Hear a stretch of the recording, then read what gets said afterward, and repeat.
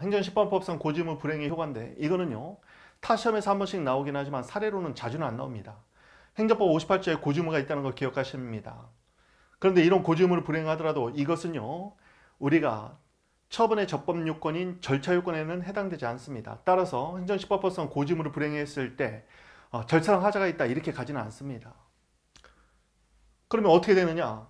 고지의무를 불행하면 27조 기간에 관해서만 효과가 발생하는 거예요. 잘못 알렸으면 그 잘못 알린 기간에 심판 청구가 있으면 적법하게 청구가 된 것으로 보고 알리지 않았으면 90일, 180일, 180일로 간다. 뭐 이 조문만 기억하시면 됩니다. 변호사 시험에서는요. 가끔 보면 기록형의 이런 것들이 나오니까 알아두셔야 돼요.